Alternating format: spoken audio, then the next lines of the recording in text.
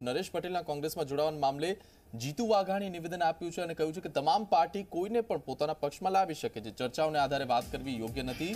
હાલમાં તેમની સાથે વાત કરવી તે શોભતું નથી. વિશેષ વ્યક્તિ નરેશભાઈ સમાજના વડીલ છે. આ નિવેદન જીતુ વાઘાણીએ આપ્યું છે.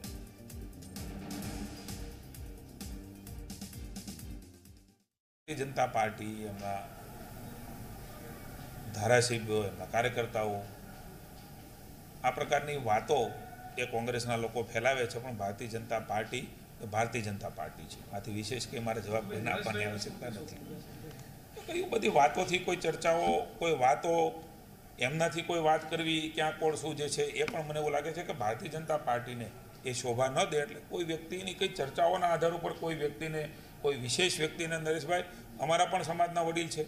એક સામાજિક સંસ્થા, ધાર્મિક સંસ્થા ચલાવે છે. પણ કોઈ કે એના આધારે કોઈ નિવેદનો કરવા. તો મને એવું લાગે છે કે એ વ્યક્તિ માટે પણ અને સમૂહ માટે પણ, એ સંપ્રદાય માટે પણ, કે કોઈ એક જ્ઞાતિ જાતિ માટે પણ ઠીક નથી.